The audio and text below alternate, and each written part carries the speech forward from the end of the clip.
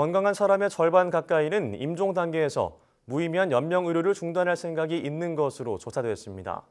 서울대병원과 국립암센터 공동연구팀은 질병이 없는 일반인과 암 환자, 환자 가족, 의사 등 4개 집단 총 4천여 명을 대상으로 설문조사한 결과 이렇게 나타났다고 밝혔습니다.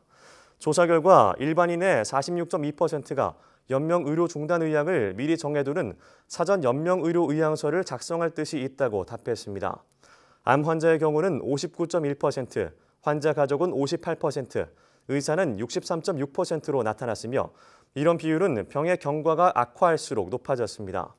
연구팀은 일반인과 환자의 눈높이에 맞는 제도가 설계된다면 많은 사람이 편안한 임종을 맞이하는 데 도움이 될 것이라고 설명했습니다.